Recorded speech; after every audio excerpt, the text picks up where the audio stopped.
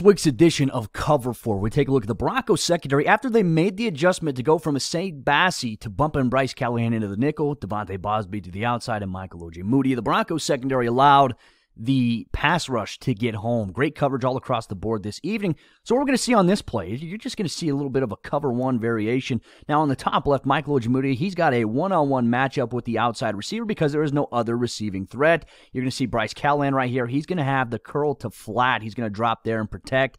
And then De'Vante Bausby, he's just got deep responsibility, covering that deep third Justin Simmons covering the deep middle of the field. And then you're going to have Kareem Jackson kind of playing a spy on the interior in case there's any kind of post routes, crossing patterns. And then Josey Jewell, Alexander Johnson, they're going to be the last resort on the interior. But the Broncos really getting this pass rush going with this secondary.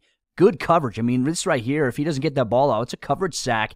De'Vante Bausby with a pass breakup. This was a big game for Bausby. It's been a question. Why hasn't he been playing this season for the Broncos? That's the big question that I've had.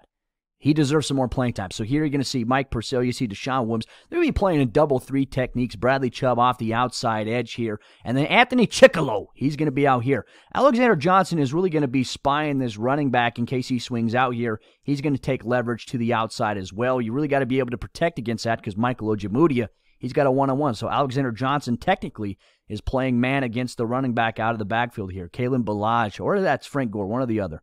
Uh, anyways, yes, he's dropping out there. He's just really protecting. Pass rush almost gets there. De'Vante Bausby knocks the ball away. Incomplete. Now, on this play, there's going to be a pass interference call on Michael O.J. Ojemudia. I don't agree with it. I thought it was a pretty bad call here. There was equal hand fighting by the receiver and him. What you're going to see, you're going to see this one on one matchup here. Kareem Jackson's going to play on the inside. Anything coming across, Justin Simmons is going to leak over the top. De'Vante Bausby out here, he's going to kind of play like an outside underneath squat technique, almost like he's playing cover two. And then you got Bryce Callahan playing that middle hook to curl. And then you got Josey Jewell dropping middle. And then you've got Alexander Johnson kind of playing out here as well. So really the Broncos sending a four-man rush here, keeping everything in front of them. Michael Ojemudia has got a one-on-one. Nice footwork, great opening of the hips. Good job getting on the hip. Now, here's my only critique, right? Uh, you know, a really, really, really good quarterback will throw this ball high, to the outside. You got to be able to phase in a lot quicker. I think he does a great job recovering initially. He's got some good makeup speed altogether. This is just a terrible call. I thought it was great technique, great ball side hand here, and we're going to watch it once again. I mean, right there, perfect. He's got he's in great position here. Knocks the ball away, incomplete. I just don't see how they can call that a PI. That was a good play by Michael Ojemudia. The Broncos rookie. He's gonna he's he's a fun guy to watch, man. Broncos defense is the best, in my opinion, when Bryce Callahan is playing in the nickel. He gives them the best coverage dynamic, and he gives the Broncos defense the best ability to do some really awesome things. So it's third down here. Here's what's going to happen. Okay, the outside receiver, number one to Michael Ojemudia side against empty. He's going to run to the sticks. He's going to sit. Michael Ojemudia is going to sit on top of it. Chris Hogan's going to extend outside to the sticks break back inside. He does not get it. Bryce Callahan knocks the ball away. And then Josey Jewell lined up right here. What you're going to see him do, this is almost like a nickel blitz. It's really crazy. He's shaded out inside the number three wide receiver here. So what Josey Jewell is going to do is at the snap, he's going to blitz off the edge. That means that Kareem Jackson's going to step down on the inside and protect against the number three route. If you play Madden, you always see that the number three receiver, the hook, that's exactly what happens. And then Simmons is going to be over the top. And then you got Alexander Alexander Johnson playing inside out, and then you got De'Vante Bausby over here protecting, especially against the sticks here on third down. So uh, what let the play develop here. It's just a really wide angle here out of a three by two empty formation, and Bryce Callahan does a great job. Ball side hand knocks it away, incomplete. That's the stuff that I like to see. The Broncos did a really good job. You know, pressure coming here in Sam Darnold's face, but coverage matters, folks, in the National Football League. We love the aggressive approach here by Vic Fangio. The Broncos defense, they're in dime. And if you're new to football, you don't know what that terminology is. You hear all the time dime, nickel. Dime refers to there being six defensive backs. So we've got one, we've got two, we've got three, we've got four, five, and six coverage guys on the back end. Vic Fangio is going to blitz the house of Sam Darnold here on third down. Broncos being very aggressive against a three by one formation offensively. Justin Simmons rolling over to the top, and then Kareem Jackson's going to be playing this kind of middle zone. Anything that comes inside, he's going to take. You got man here, you've got man here, and then you've got man here. They're really just tightening up the coverage here, folks. I love it.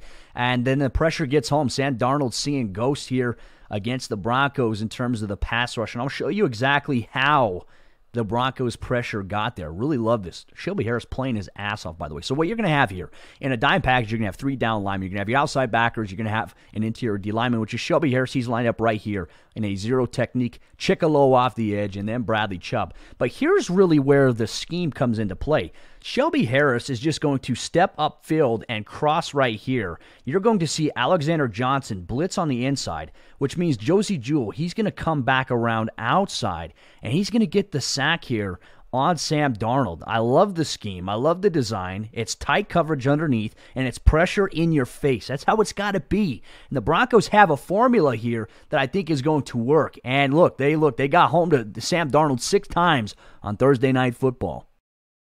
De'Vante Bausby has earned himself some long term playing time. He should have been playing already, but look, you know, you can't go back and change it. You can only give him playing time going forward. He had a very impressive Thursday night football. Now, what you're going to see, you see these offenses on short yardage situations, they always run the tight arrow and then the slant route. And it's almost like a tighter kind of underneath coverage. De'Vante Bausby breaks on it so quickly. Great freaking angle, too. 45 degrees. Now, here's the deal. De'Vante Bausby, because it's going to be an inside breaking route, he doesn't attack here. He attacks at the angle of here. So he steps in front of it here. Great freaking reaction time. Pass breakup. Could have come away with a pick. The Broncos got a big boost from Bausby. And look, the Bausby bus is rolling, folks. I've been on that all offseason. I think he is a phenomenal player. Did a lot for the Broncos last season in limited action. And so far, the action this year is supporting that claim, supporting that notion he should get more playing time. And look, I think he's earned it right there. That was a great play.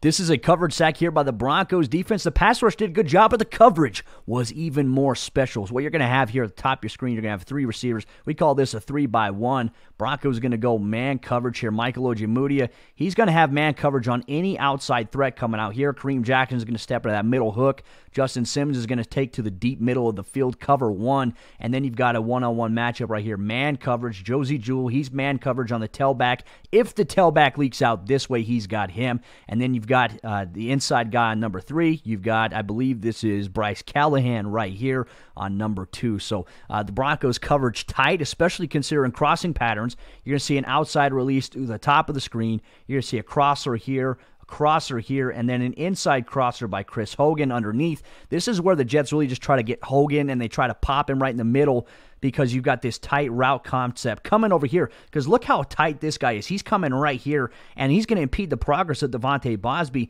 Bausby takes a great angle, and there's nothing there for Sam Darnold. That's a great undercut by the DB and a coverage sack by the Broncos defense. Love it. And look, I think the Broncos, they got very aggressive on Thursday night. They might have a formula about what they could do against some of these other passing teams. Now, what you're going to see, Shelby Harris, he's going to be lined up in a zero technique. He's head up on the center, and he's going to crash on the inside, which means that the right guard and the center, they're going to focus on double teaming him. Jewell's going to take coverage responsibility here. Malik Reed off the edge has a one on one. Alexander Johnson stepping on the inside here. He's going to have a one on one. And then Bradley Chubb on the outside is going to have a one on one. The pressure is there. The passing lanes are not open for Sam Darnold and the Jets, which allows the Broncos defense to kind of get home here. And he's seeing ghosts. He falls down, sacked by Bradley Chubb. On this third down play, the Jets are going to try to be creative, trying to just create some crossing patterns. They know the Broncos defense is playing aggressive. So what you're going to see, you're going to see two by two two receivers here. You're going to have two receivers right here. And what the play concept is, is they're going to run the number two and the number one receiver on a drag route across the field. They're going to swing out on a wheel route to tailback. So, how the coverage lines up here for the Broncos, Kareem Jackson is actually playing man coverage on the tailback. You got man coverage on the inside by the number two here, and then you've got man coverage on number one on the outside here. And then, so what you're going to see at the bottom of your screen now against this stack formation, De'Vante Bausby and Bryce Callahan are right here. So here's what the Broncos have to do. They're keeping safety help over the top, but they're going to have a communication combo call here, meaning that anything that comes to the outside, Bausby is going to take. Anything that comes inside, Callahan is going to take. And that's exactly what happens because the number two receiver on the line, he's going to release outside. Number one's going to come underneath, and he's going to try to drag across here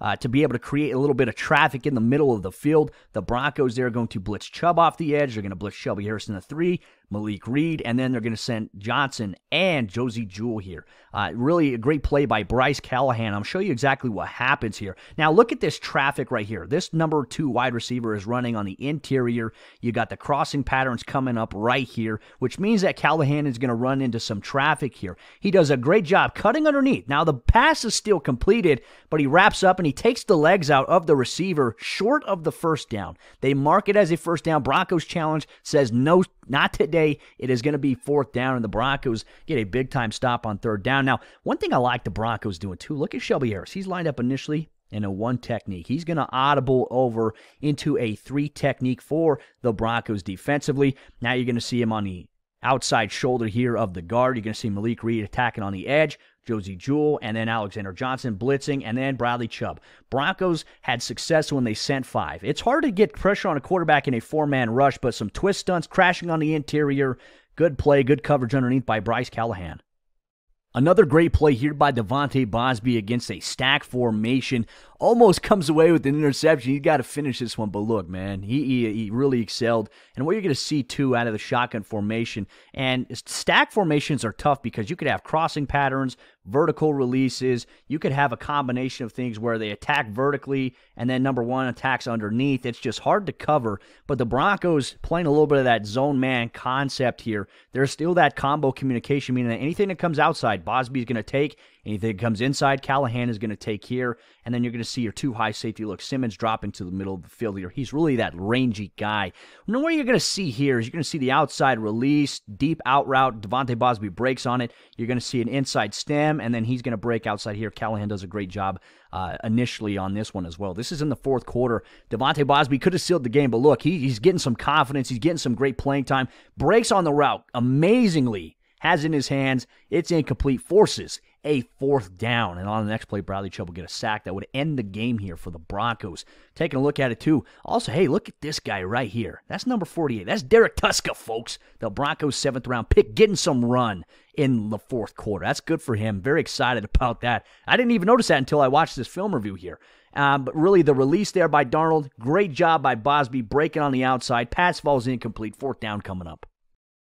This is Bradley Chubb's sack on fourth down against an empty formation. What you're going to see, you've got three receivers to the left side, you've got two receivers to the right side, and the Broncos, they're in their dime package against empty. So anytime they're going to be playing teams that go empty, you're more than likely going to see the dime package. You've got your uh, coverage guys here. You got one man coverage, man coverage. Justin Simmons manned up on number three, and then you've got one on one right here, one on one right here, which means that Kareem Jackson he's going to float to the middle of the field and play that coverage responsibility. Broncos send pressure too on fourth down. It's not going to be easy. And that's the one thing I really like is that Vic Fangio dialed up the pressure when they needed it the most, comes away with a turnover on downs.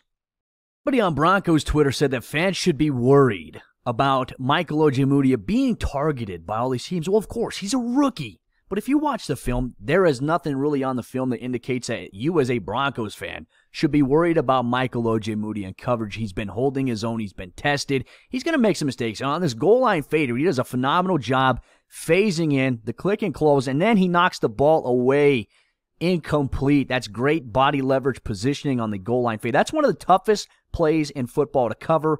Michael Ojemudia shields Chris Hogan and then knocks the ball away. Good play by the Broncos rookie. Now, on this play, I'll be critical of Michael Ojemudia a little bit. It's third down here, and what the film shows, the Jets love to run the deep out to the sticks, and so I can see what he's playing right here. However, he bites on the double move because this receiver, he's not going to run. He stems like he's going to break, and then right about here, he throttles down, bump, bump, bump, double move, and then gets vertical, and Michael Ojemudia loses him. You got to be able to stay on top of that. Keep your feet moving. Boom. Yep, he breaks on the outside, and then luckily the pass is airmailed over him, and then Kareem Jackson's over the top. Those are some of the things he's got to work on, but I'm not too worried about Michael Ojemudia. Michael Ojemudia has been placed in various one-on-one situations, and he's gotten the best out of many of these reps here. And I've been very impressed with him right here. He's going to work. This is going to be a back shoulder throw, one of the toughest plays in football to make. Uh, and I'll give my analysis. Great initial step at the line of scrimmage, great hand placement, great squeeze, and it falls incomplete. Now, Here's where I could say he's going to have to prepare because some teams are going to try to test him in this area. He's doing his back pedal. He's he's fitting in here, opening up, squeezing. Now you want to make sure that that hand is tight on the hip because what's going to happen is teams are going to start throwing uh, those back shoulder underneath passes to where he's going to be in great position but overall, they might stop on a dime just to be able to throw it back shoulder. Hardest play in football to cover, in my opinion, but Michael Ojemudia did a great job there.